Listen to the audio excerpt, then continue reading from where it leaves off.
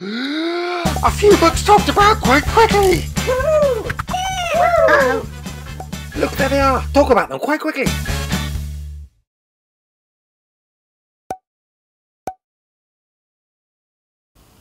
Listen with me, if you will.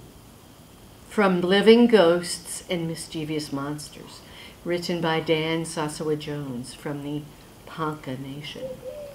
Monsters. There are many monsters in American Indian cultures, as you can imagine. Great monsters and small monsters of every shape and description. Some monsters hunt people and even eat them.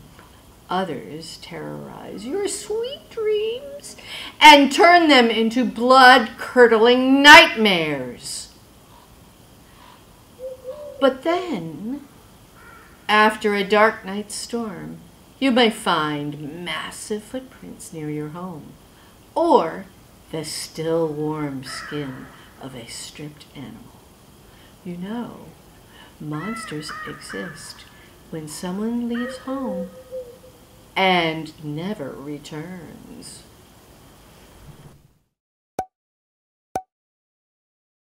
Spirit Hunters by Ellen O. I love this book.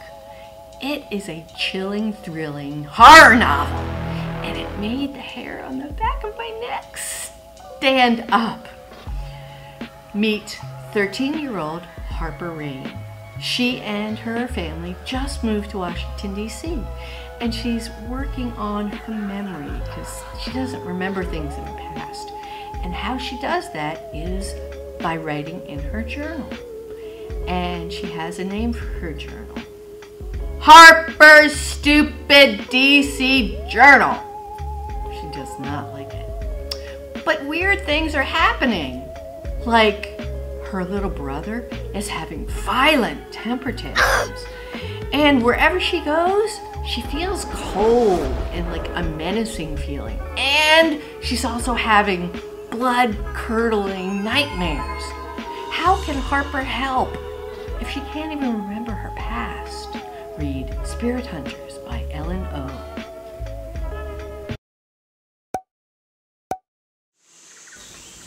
We can all agree that cavemen were the first to use tools, right? After all, a tool is just a functional object made or found that is not part of the user. Well, so we all thought for millions of years until the 1960s when Jane Goodall and her groundbreaking research with chimpanzees showed that animals are intelligent and able to craft things to better their environment. Richard, the author of this book, also talks about how capuchin monkeys clean their boogers, how dolphins use sponges to hunt, and how baby orangutans gather leaves and hug them at night, just like a doll. Read more fascinating facts in this book by Richard Haynes. Meet Lia Park.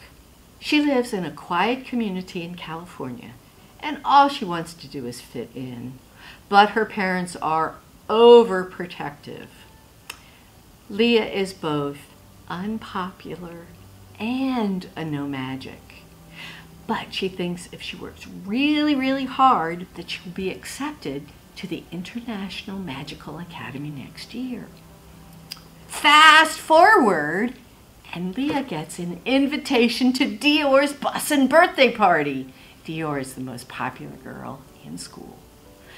But Lia's overprotective parents forbid her from going. And Lia freaks. So she sneaks out of the house and goes anyway. But unwittingly, she opens the door to her own magic. And in doing so, she lets loose a villainous spirit who kidnaps her parents. She is so desperate to rescue her parents, but she doesn't know how. How will she find the missing jewel? And will her magic save her parents?